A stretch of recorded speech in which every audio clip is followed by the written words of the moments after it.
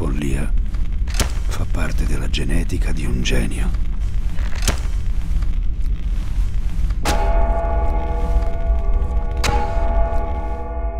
Il progetto si può realizzare, è questione di tempo, solo di tempo.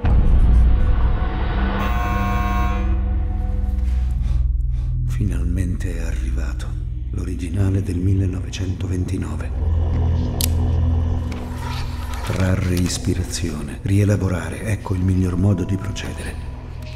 L'isola magica di Seabrook il primo libro su Haiti e le sue pratiche magiche, la prima opera in cui appare la parola zombie. Si fece dare da un ospedale legato alla Sorbona tranci di un uomo sano morto in un incidente e ne cucinò in varie preparazioni la carne e ne descrisse accuratamente il sapore.